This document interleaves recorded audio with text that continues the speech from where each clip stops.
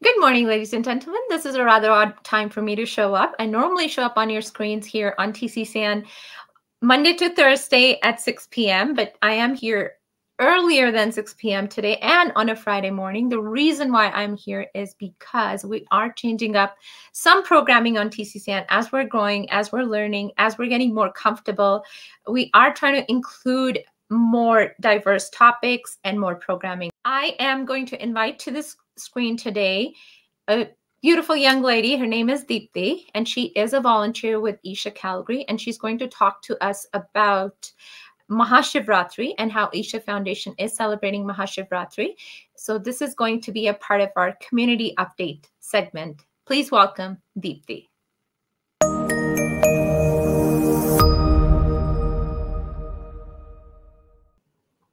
Hi, Deepthi. How are you?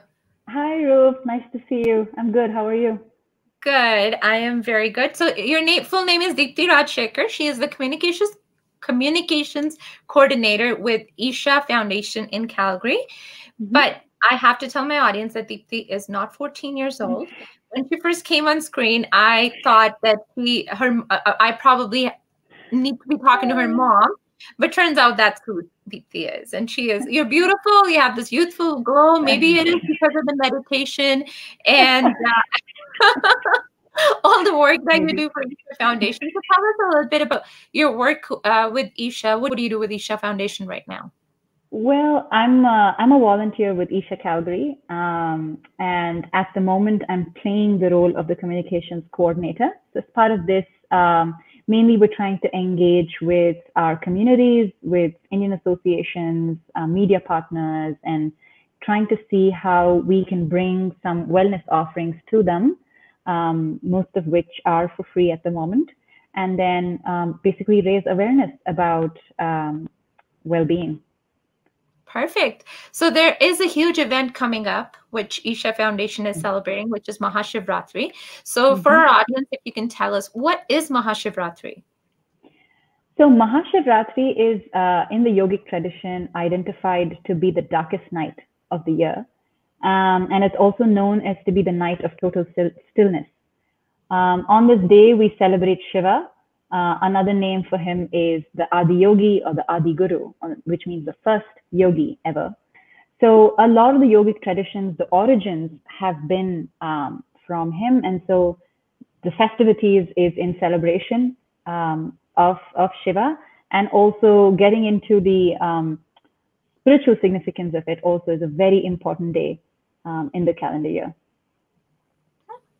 And uh, who celebrates it? It's is it celebrated in the entire South Asian continent, or is it sorry, entire South Asian subcontinent, or is it primarily in India?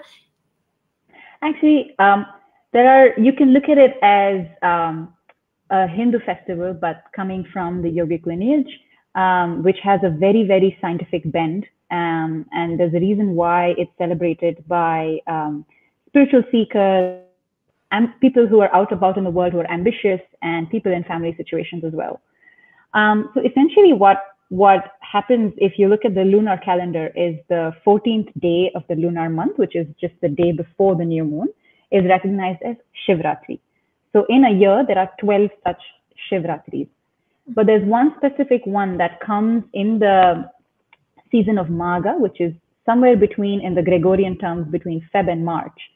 Um, so the particular Shivratri that comes now um, is is the darkest night, like I said before, and the reason it is significant is because the planetary positions uh, at this time of the uh, of the night, especially in the northern hemisphere, is such that there's a natural upsurge of energy in the human system.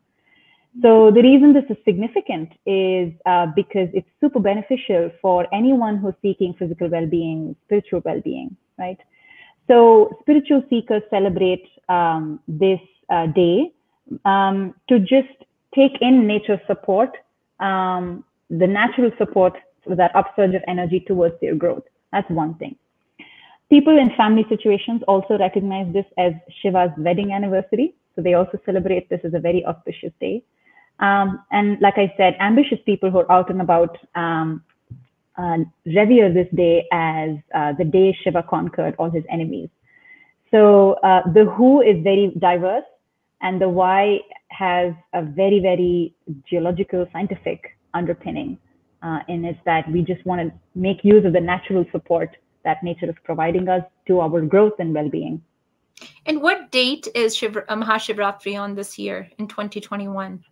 That's a good question, Roop, because uh, you know I can clearly see that you understand that it doesn't fall on the same date the, uh, as per the Gregorian calendar. So this year Mahashivratri has uh, is coming on the 11th of March, uh, which we're almost less than a week away. Um, and uh, Isha Foundation is celebrating this as always in a big way. Um, but due to COVID, we're going to have all our celebrations um, live streamed. Um, and so we have night long celebrations. So it starts from 6 p.m. Uh, the night of Shivratri all the way until morning. So 12 hours of um, dance and music and meditations and festivities. Um, so yeah, it's March 11th this year.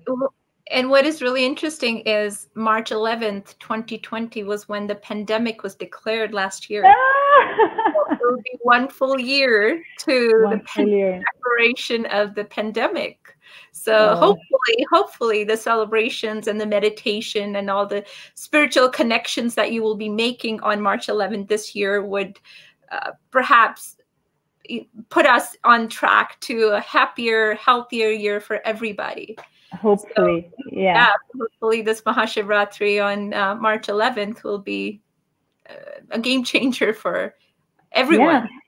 And um, one of the reasons we're excited about this also is that to just bring the joy and the festivities to the comfort of people's homes uh, during these challenging times. Uh, just the smile that it puts on people's faces, uh, the amount of energy and exuberance that it brings. Uh, that's something we're really looking forward to as well. Well, I've seen videos of Isha Foundation's Mahashivratri from last year or the year before. It was massive. Uh, Sadhguru massive. was dancing and he was singing yeah. and he is a part of the the energy there is incredible. So yeah. um, I mean, I don't. I'm I'm not a part of Isha Foundation or I don't really follow it as I mean, I don't follow it at all, to be honest, but I um, do come across videos. I do come across, occasionally come across Sadhguru in, uh, uh, I think he's an, on a lot of platforms. He's on mainstream media. He's everywhere. And Isha Foundation has an excellent social media presence. So I have seen that quite often. And uh, that was one of the videos that I did see, the Mahashivratri it absolutely blows you away. It's impressive. Yeah. So um, just one last question how can if anyone want, wants to watch this live transmission can anybody watch it or do you have to be a part of isha foundation to watch on youtube? No not at all. It's for anybody who um, is willing to stay alert and uh, take the benefit of of the night and the celebrations and be joyful. Anyone and everyone is allowed. Is is it's free, uh, broadcasted for free on Sadhguru's YouTube channels, Facebook channels, um, and uh, there's no, it, it, has nothing to do with your um, association with the foundation. It's for everyone uh, in in the humanity and in mankind. So it's open for all, and more the merrier, right?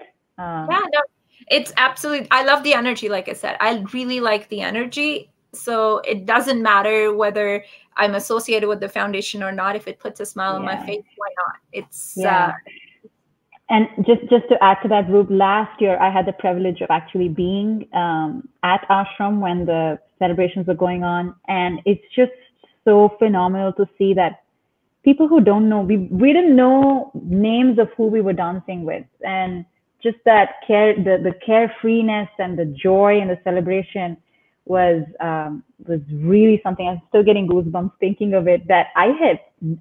I keep telling my parents that my best dancers are dancers with people I have no idea who they are. They're often uh, other meditators, volunteers, and friends and family.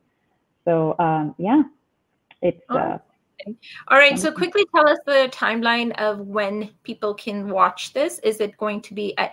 It's going to be at night in India, so it'll be during the day here. It will be during the day here, but a couple of us meditators, because of its COVID, we don't have a Isha Calgary specific event, uh, which we used to before. So for COVID, what we are doing is we're just watching the same relay at nighttime here. And it's really like that whole energy just pours into your living room and it's, uh, it reflects very well. We, and we conduct, we do the same meditation. We just follow along. Uh, we dance along. And uh, so you would watch it the night of March 11th, but repeat that telecast. Oh, repeat that telecast. But for those who want to watch it during the day, they can watch it during the day as well. They can, because they can watch it during Absolutely. Yeah. Both are possible. Awesome. Well, thank you so much for your time. Really appreciate all Thanks the knowledge for having me shared with us. I am looking forward to watching the telecast and I will let you know how it was. I will watch it during the day, probably or night. I don't know. We'll let you know. yes, you should call you should call me, Roop. We'll do a dance a dance a little. Oh, yeah. Maybe we should go live with that. Maybe we should yeah. have our own yes, that would that would be fun. That would be fun. All right. Well, Looking it was, it was, a pleasure.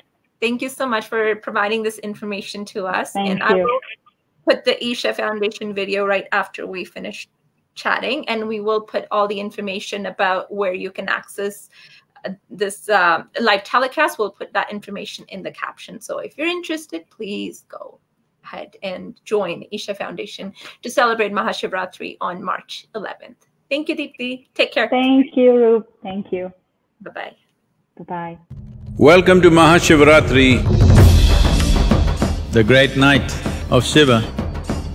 On this sacred night, if you maintain wakefulness and some sense of awareness, it shall bring tremendous well-being to your life.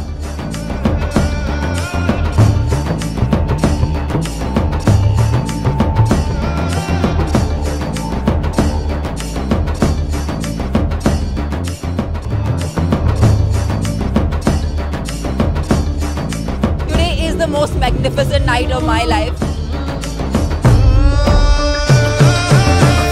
This is not just a night of wakefulness. This must become a night of awakening for every one of you. Join the celebrations live on March 11th on Sadhguru's YouTube and Facebook channels.